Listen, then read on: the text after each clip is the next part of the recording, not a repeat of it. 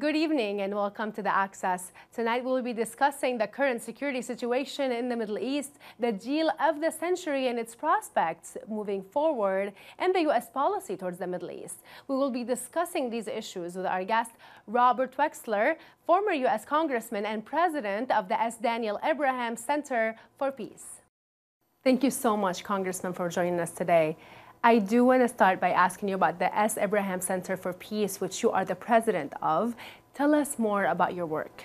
Well, thank you for having me. Uh, the institute that I'm privileged to run is singularly focused on the Israeli Palestinian conflict. Very few uh, institutes in Washington at this point are now focused on the Israeli Palestinian conflict. There used to be much greater focus. So, what, what we do is we work with governments we work with stakeholders, with constituent groups to try to assist the dynamic, the political dynamic that would ultimately lead to a negotiated two state solution between the Israelis and Palestinians. But of course, we are not naive. This is not happening tomorrow. So the question is are there steps that the United States, Israel, and the Palestinians can take that will one, improve the quality of life for Palestinians, either enhance or at least stabilize security for the Israelis, and possibly minimize the gaps between the Israeli and the Palestinian positions. And I think there are steps that can be taken. I mean, those are, like you just mentioned, many other organizations used to focus on this issue, but they're no longer focusing on this issue. Is it because a lot of people gave up on the prospect for peace in the Middle East? I, I think you're right. I think, unfortunately, people have given up. Uh, they're frustrated. They see on both the Israeli and the Palestinian side uh, a political dynamic that is not necessarily conducive for negotiations, for compromise. And so people move on. And of course, there are other uh, urgencies in the Middle East that gain people's attention. And so uh, the Israeli-Palestinian conflict to a degree gets, gets pushed aside. As this is the situation today, as you mentioned, there are other dynamics on the ground. We, uh, you've just mentioned that there are other issues in the Middle East that are greater uh, of importance and urgency uh, than the conflict itself that we're seeing, such as the, the dominating force that we're seeing increase in the Middle East by the Iranian forces, the Iranian militias, which are almost occupying now, let's say, four capitals uh, in the region, including Syria, Lebanon, Iraq, and Yemen. Um, in your opinion, has this issue pushed players in the region to get closer together, including the Israelis and the Arab or other Arab countries? Of course. Um, uh, joining together, meaning Israel and the Gulf states, uh, with in effect the United States, to counter Iranian aggression has been a dynamic that has been occurring for several years. And with Iran becoming more and more aggressive, the counter becomes more and more unified. And, and that's a positive dynamic. The question is um, how to avert disaster in the process. And some of that will be dependent on Iranian behavior. Some of it is dependent upon American leadership, leadership that's strong, leadership that continues to uh, apply a chokehold on Iran in terms of economics. But at that sweet spot, at that sweet moment when diplomacy might have a chance, um, hopefully this unified position of the United States with the Gulf states, with Israel, and with others will result in some type of uh, coercive behavior that Iran reacts to in a positive rather than a negative way. No one's naive. No one thinks Iran will become a positive actor. That's not the, the question. Uh, the question just is how much pain can the Iranian regime withstand, and um, do you do you deliver that pain in a way that allows the Iranian regime a, a, way to save face and negotiate um, in, in, a way that includes in the process of negotiation not just their nuclear ambitions, but their terrorist activity and the types of actions that they take that create instability in the region, which are as as potentially problematic as their nuclear program ultimately will be. Nuclear Iran is not an option. It must be stopped. Whether it's Republicans or Democrats here in Washington, there's a, a uh, uniform position on that. Um, the question is uh, how do you uh, bring them to the table and how do you maintain a position of strength in that process? Congressman, I want to ask you about this. I know that this is going to take us away from the foreign policy aspects that we want to focus on in this show, but you just mentioned either, uh, either the Republicans or the Democrats in the United States. We're seeing the polarization today. Do you think with these nominees, and you are a Democratic uh, Congress member, a former Democrat uh, Congress member, do you see that this, these new candidates are able and capable and they have the understanding to carry on policies that would be conducive to the results that you're uh, talking about, which is stopping a nuclear Iran, stopping the uh, you know, funding terrorism throughout the region and the world. Well, I think you have to distinguish between the Democratic candidates. Uh, Vice President Biden, of course, is uh, as experienced a statesman as as we have in this country in terms of his Senate experience, his vice presidential experience, and particularly in relationship to Iran and the Iran nuclear agreement that was reached under the Obama administration. Do you agree with that deal? I do, mm-hmm. but I think at this point, um, uh, Vice President Biden, more importantly, uh, understands that there were um, successes to that agreement, and then there are ways to improve the agreement. Mm-hmm. And so, what I think is most important is to uh, get Iran back to a, a, scenario where they are committed to not developing a nuclear weapon beyond their commitments in the Non-Proliferation Treaty, um, take away their ability to enrich uranium and plutonium, which was done under the agreement, mm-hmm. uh, apply very strict standards, which was done under the agreement. The, the drawback of the agreement uh, essentially there were two drawbacks. Mm-hmm. One was the time period, so that time period should be extended in terms of preventing Iranian behavior that's problematic, and separate and apart from the nuclear program to address all of Iran's problematic behavior in the region. I think if we've learned a lesson from the original nuclear agreement, it is not that anyone was naive about the first agreement but that even in the smallest of ways, Iran did not take the opportunity of the agreement to at least alter its behavior so that it could benefit economically uh, from the achievement of the agreement. So now we're back essentially where we started from, um, but in this way, um, at least we stopped for the moment, President Obama did, uh, the rush to almost becoming a nuclear power and having to create another military confrontation.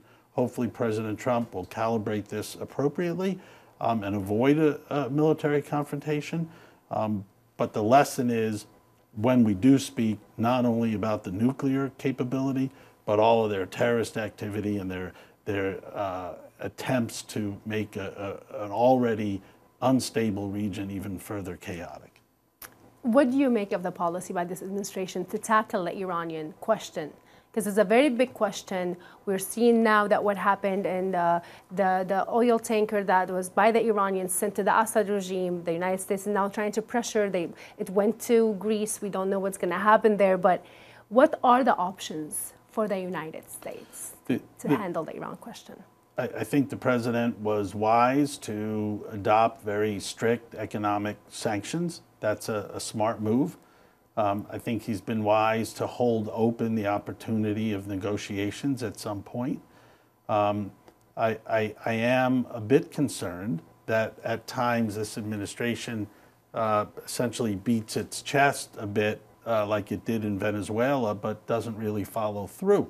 Mm-hmm. And so the lesson, I'm afraid, from Venezuela is that the president says essentially, uh, to the Venezuelan leadership, you're out, but they're still there. Mm-hmm. So what what lesson does that show for Iran, for North Korea, and so forth?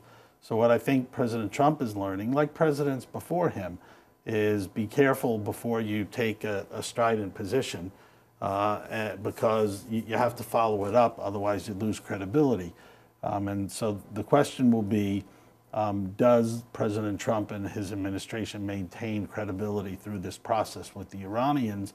Thus far, with Iran, I think they have, um, but we're, we're not nearly to the end goal yet. I mean, we saw that there are some movements um, in the Gulf and in the Middle East in general, for the United States is asking for its allies to participate in trying to maintain and monitor the activities in the Gulf in, in terms of the oil tankers, which Iran is always trying to threaten the world with. Um, in your opinion, is that a strategy that could create some sort of a coalition between different countries? Uh, we know Bahrain has joined. Right. Uh, but what else could be done? Who else could we see on this list?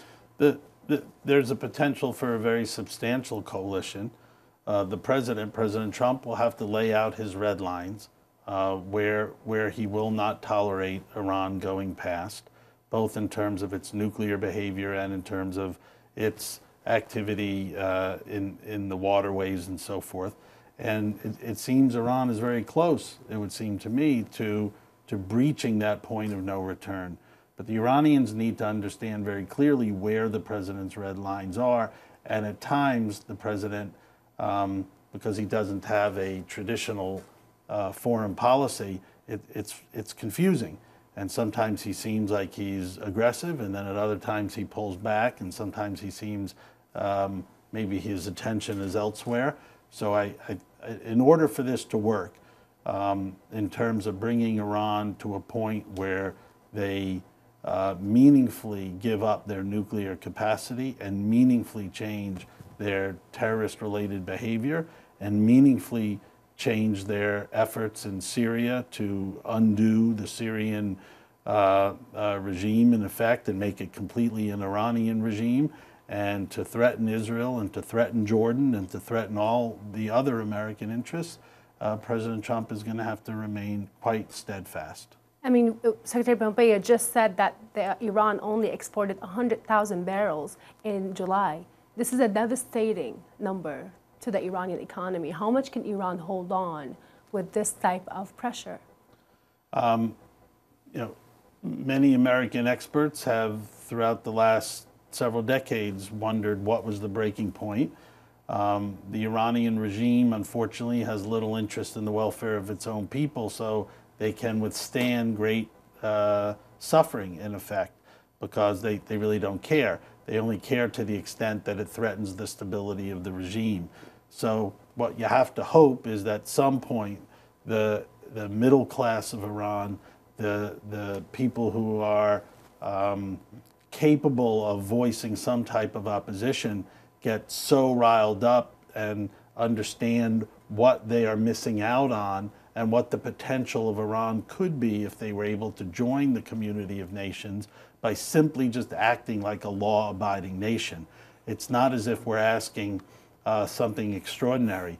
We're just asking for them to, in effect, keep their obligation under the non nuclear proliferation treaties and to follow a path where they're not constantly always looking to create um, uh, violence and create combat with Israel, and even more so, create a degree of, of instability in the Gulf. and, and when they decide they want to better their own country, where they want to provide more economic opportunity for their own people, then, then we'll be able to make progress.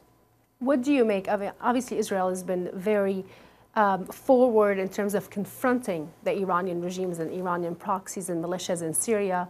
It's been the only player to ever actually target and bomb systematically uh, these forces throughout the country.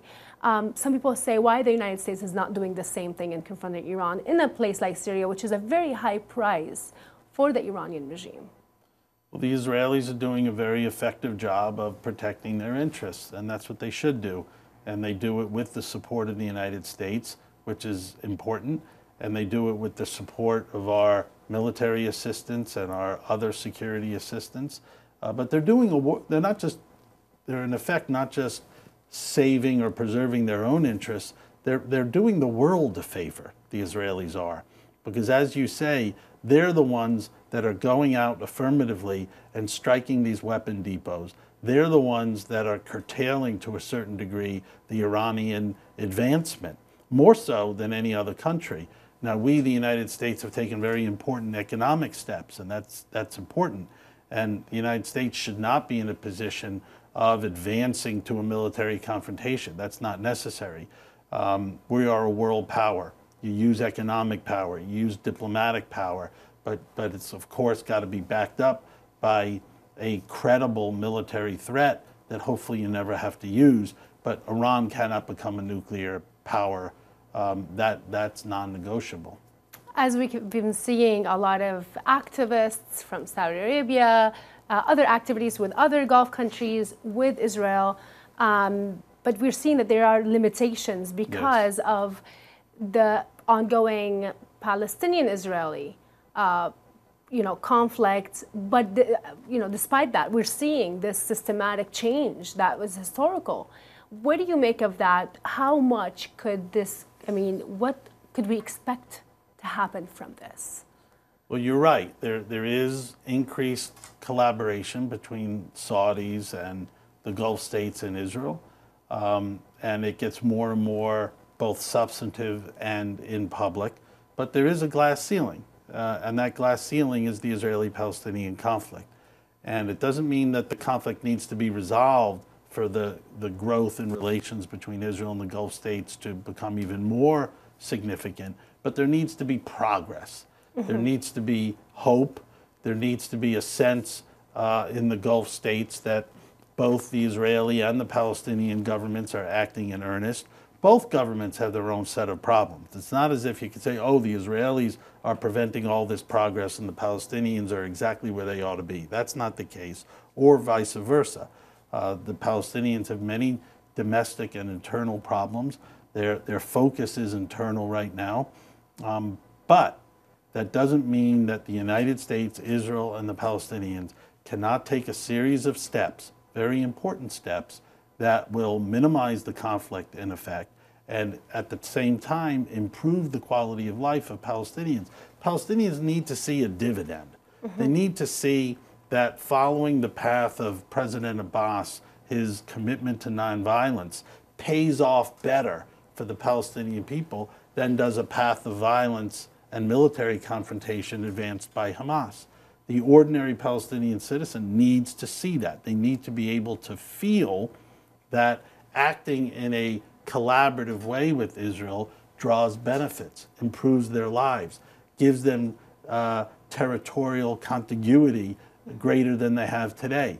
Gives them the ability to drive from one Palestinian town in maybe the, the southern central part of the West Bank to a town in the northern part without, without having to worry about um, uh, crossing over Israeli military positions. Mm -hmm. um, there are different things that can be done to ease travel, for instance, for Palestinians who want to travel internationally.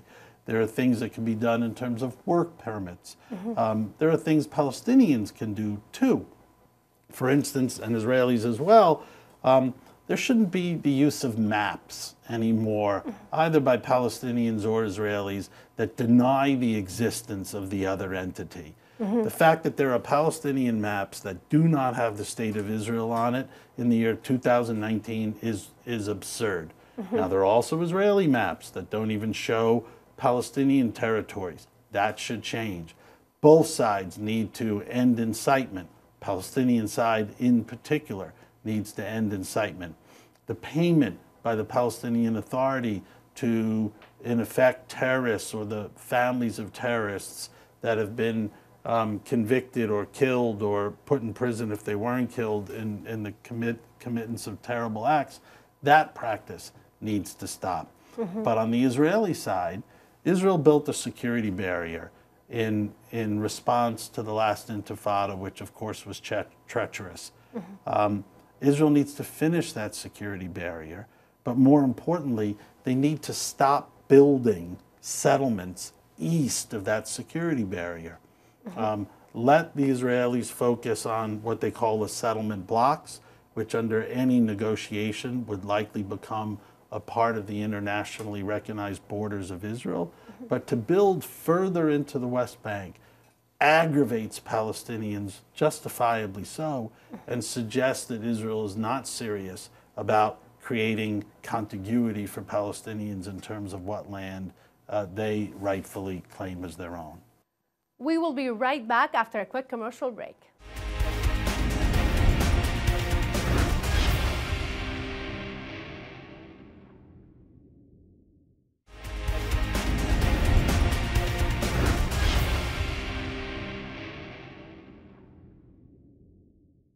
We are back with our guest for tonight's episode, Robert Wexler, former U.S. Congressman and president of the S. Daniel Abraham Center for Peace.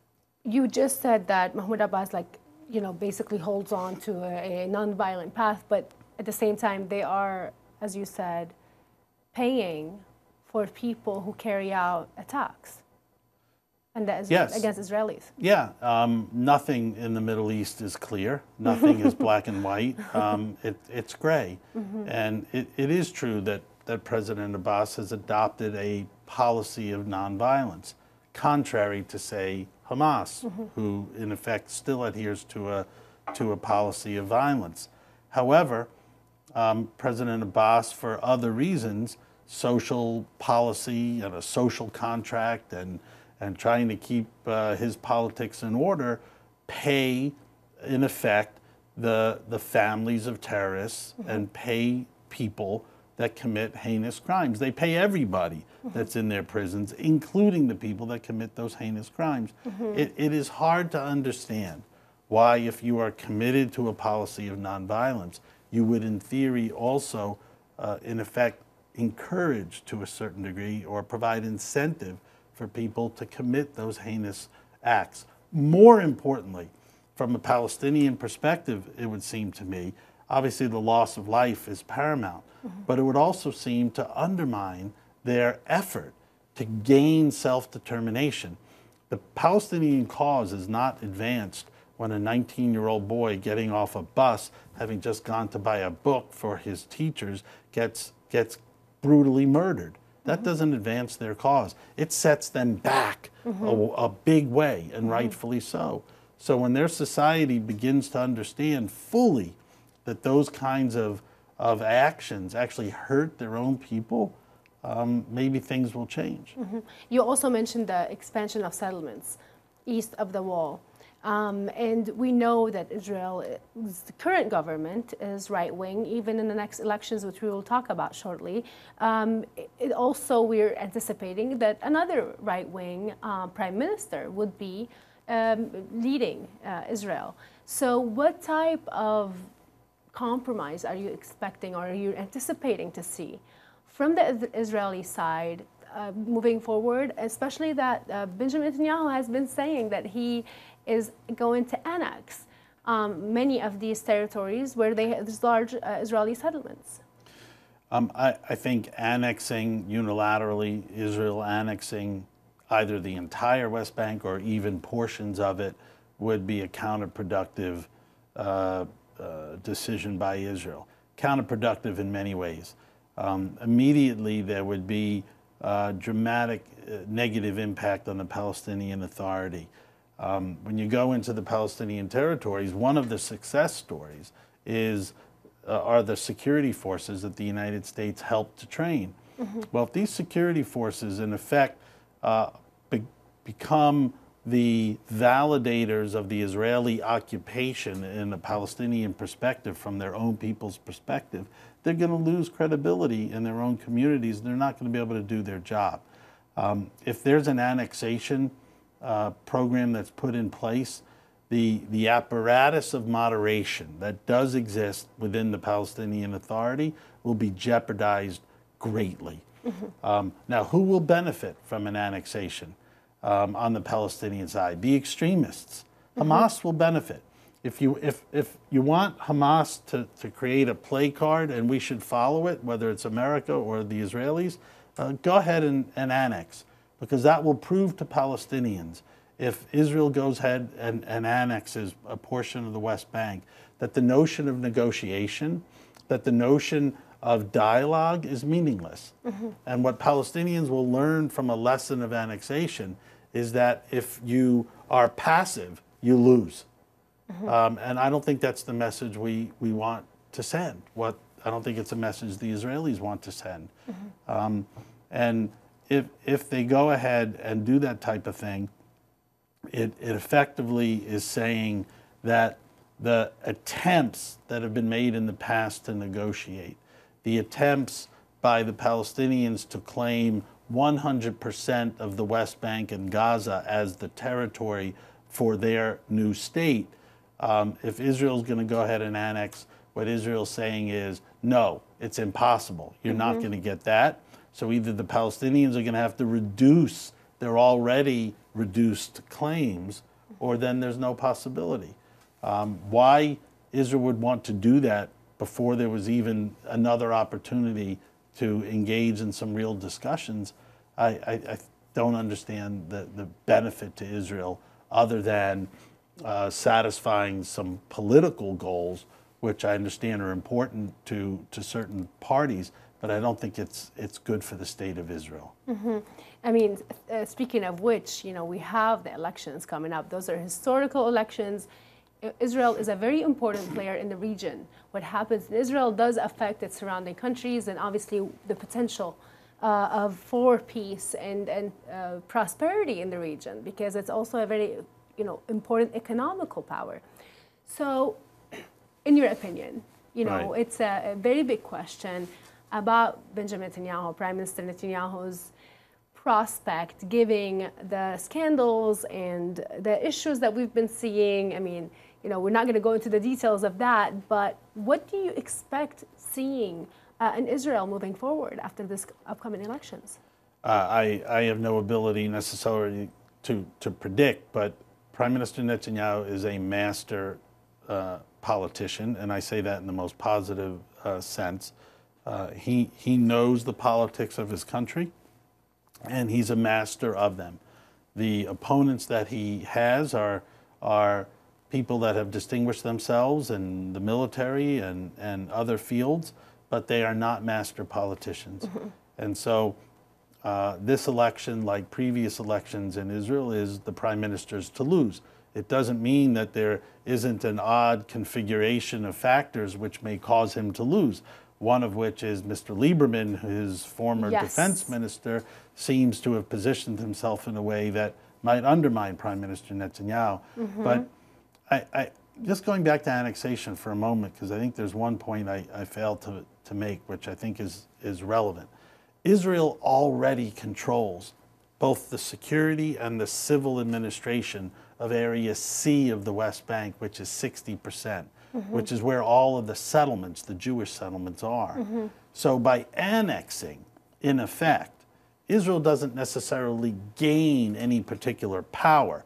It formalizes Israeli security, civil, and other types of control, but the Israelis already control it. So I wonder what they gain. They lose so much in terms of essentially suffocating moderation on the Palestinian side. And I, I don't understand what they gain. um, go into uh, Lieberman because I was going to ask you about him. I mean, it, what it seems is that he's been. There's question: Is he gaining popularity or losing popularity after what he's done? Because that obviously costed a lot Israel money to have the re-elections, uh, created an unstable situation while there's a lot going on um, internationally to take care of. Um, so there are those questions about, you know, the timing and the, the decision that Lieberman did. But at the same time, are we going to be seeing, are we going to be seeing, let's say, uh, maybe more popularity uh, for Lieberman and uh, him insisting on his position? And what would that mean for Prime Minister Netanyahu? Well, Mr. Lieberman is maybe the one other politician in Israel who is savvy, truly savvy, and a master politician. And what Mr. Lieberman has done is he's he's taken the the religious secular divide in Israel, and there is a divide on, on certain issues, and he's he's thrown himself into the position of being, in theory, the leader of the secular bloc. Um, and he's been very careful um, not to offend those Israelis who are religious. But what he's saying is that we effectively, we Israelis, have, have a choice. We can be led by the ultra religious, the people that, that get very angry if somebody drives a car on, on Shabbat, on Saturday. Or we can, we can be a part of a modern Western state that is religious and carries on personally in, in, in a Jewish traditional fashion, but that we don't become a theocracy. Um, and there's a, there's a large appetite for that in Israel because there is a divide in some ways between the religious, ultra religious community and other Israelis. Traditionally, the ultra religious did not serve in the military. Now that is changing for the better. Um, there are um, religious. And these are one, the, one of the issues that Lieberman. that's right. So he's he's carrying the he's attempting to carry the banner of uh, secular Israelis, Israelis who are not a part of the ultra orthodox blocs. He's saying we've got to fight to get our country back. That Mm-hmm. But that the- still on the right. But still on the right. That's mm-hmm. right. And so whether he is successful or not remains to be seen, but it's a real challenge to Prime Minister Netanyahu because ordinarily those type of voters would gravitate to Prime Minister Netanyahu and the Likud party mm-hmm. because the Likud party, although it has become more entrenched with settlers and religious Zionists and so forth, mm-hmm. has always traditionally been the, the party of Menachem Begin, the party of secular Israel that was traditional, that was religious, mm-hmm. but it wasn't so far to the right. Um, this is the challenge that the prime minister has, and he has people further to the right saying Netanyahu's gone soft and he's you know too much to the left. Mm-hmm. But this is where the prime minister excels. He's mm-hmm. he's a master politician. Don't you know? People have written political obituaries of Prime Minister Netanyahu many times to find that they they were wrong.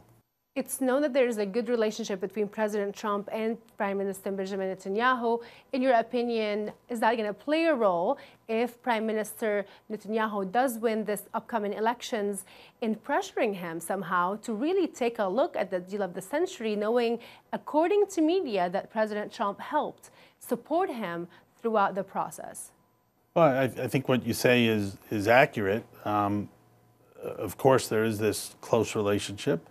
Uh, we saw it just this past week uh, in terms of the president effectively asking Israel not to permit two members of the United States Congress to enter Israel, and the prime minister effectively reversing what appeared to be the original Israeli decision, which was to allow the two congresswomen in. We'll talk about that too. Okay. Um, so, but but ultimately, while I think Prime Minister Netanyahu would be very reluctant in, in almost any case to be in an opposite position from President Trump, um, Prime Minister Netanyahu will not compromise, I don't believe, in in the context of a peace proposal, the interests of the state of Israel. Uh, I think what we saw this week was terribly unfortunate for the state of Israel in terms of of creating a, a, a greater sense of partisanship in the United States regarding the American-Israeli relationship. But the fact of the matter is, um, although the prime minister and the Israelis are trying to downplay it, it seems like President Trump put Prime Minister Netanyahu in a no-win situation, and that's that's unfortunate.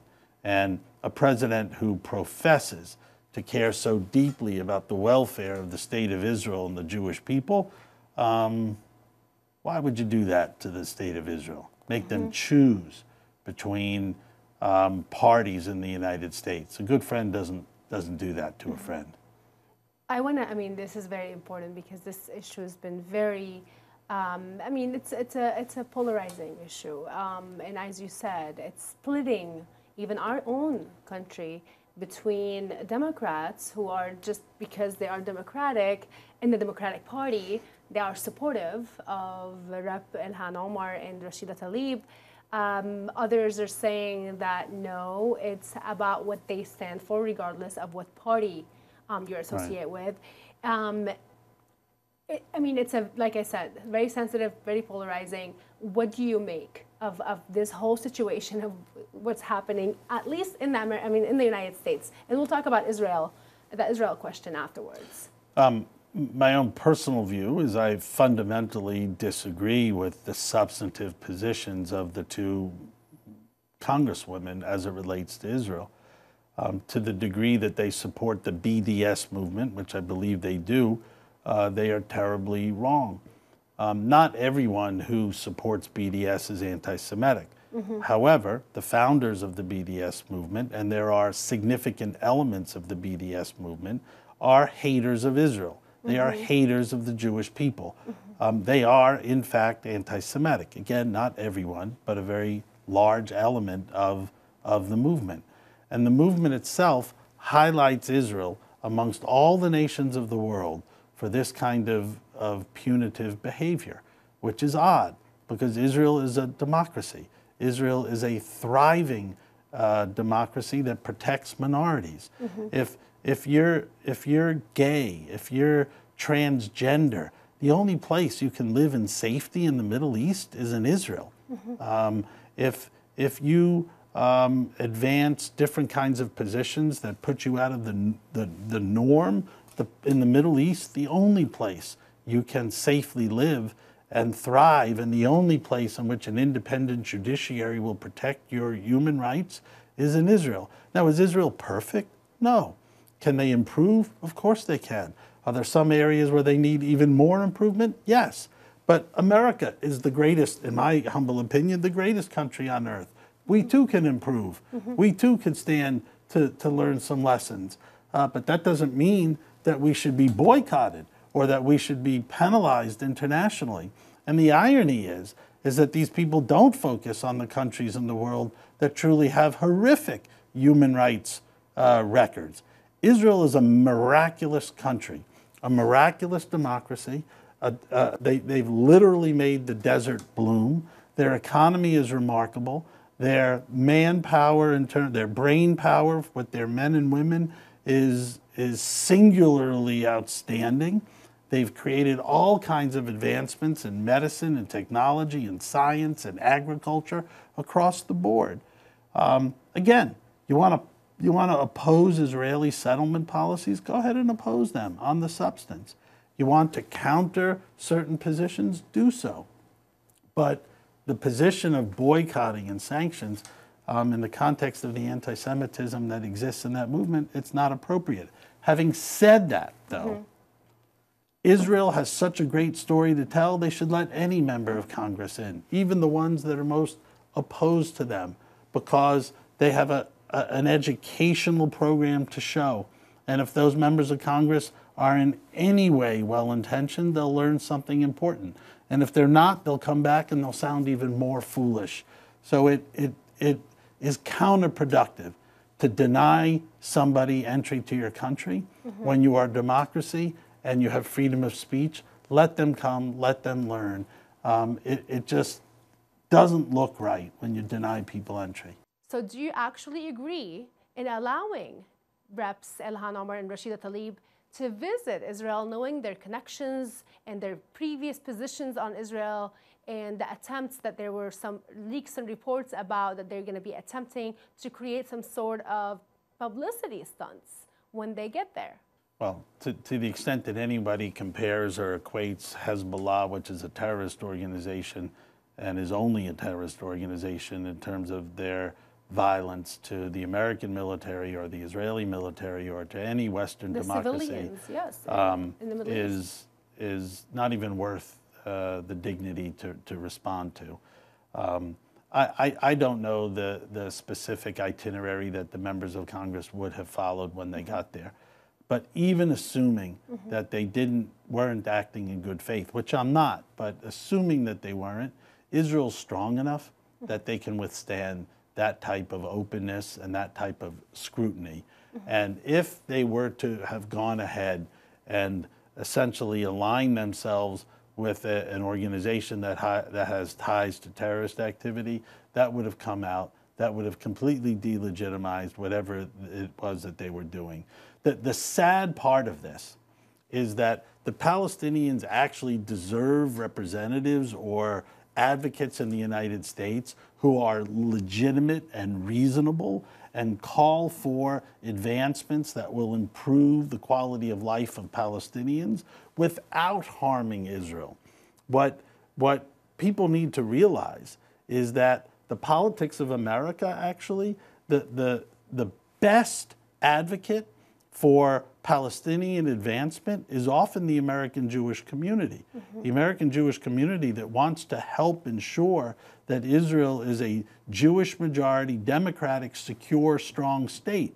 Most Jewish Americans understand that in order for Israel to prosper long term, the Palestinians need a homeland of their own, a homeland that's demilitarized, a homeland that's not subject to being taken over by Hamas, a homeland that at first needs to be protected by Palestinian security forces, but also the Israeli military and so forth. Um, those are the kinds of arguments that should be being made by those members of Congress who fashion themselves as advocates for the Palestinian people. Help the Palestinian people achieve greater transportation networks. Help the Palestinian people get more work permits so that they can work in Israel and gain more financial success. Help Palestinians travel internationally and gain more student visas so that Palestinians can learn and come back home and build uh, an important society.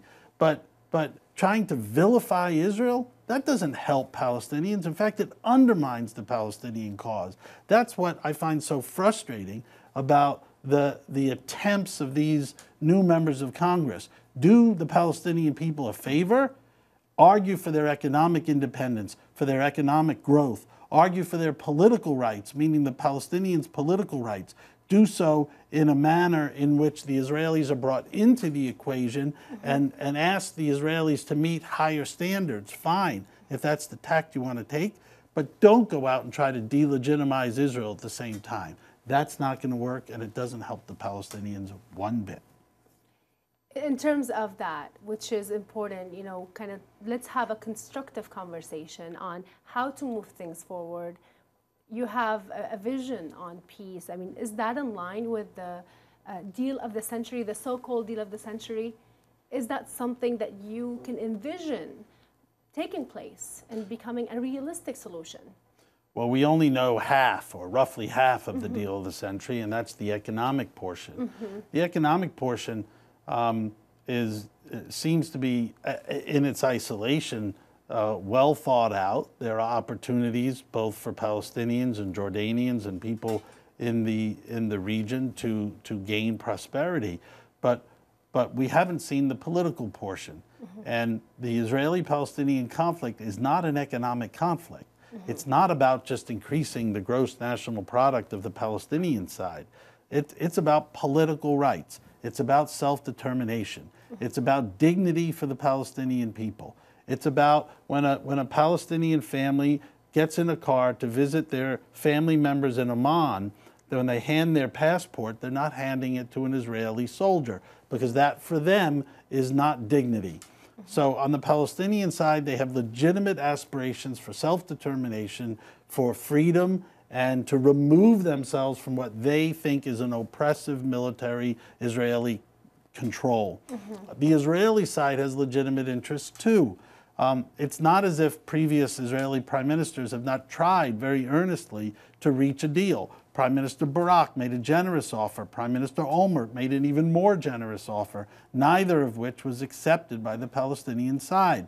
And so Israelis, what they see is each time Israel bends to, to try to reach a deal, the Palestinian side said no. And what followed? Violence, a terrible intifada, wars from Gaza, wars from Lebanon, that's a different causation.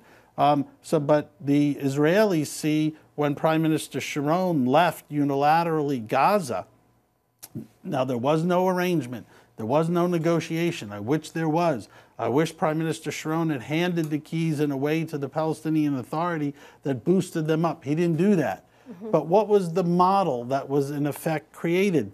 Rather than creating a, a, substantial society in Gaza, ultimately what happens is Hamas takes over, they rip out the greenhouses that Israel left, and rather than building up economically to the degree they could under the situation, they, they build up their rocket power, they build up their tunnel uh, digging, they build up their terrorist capacities. That's what Israelis see.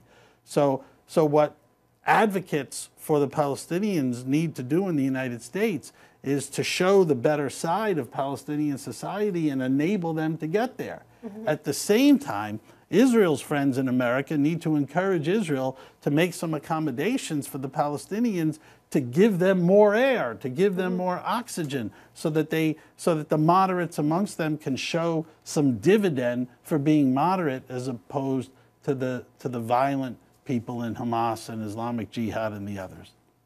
I think this conversation is very important and would love to have you again in the future to discuss it some further. Sure. Thank you so much for coming on. Thank you. us, Congressman. Thank you. That was it for tonight's episode. Thank you for sticking with us. Good night.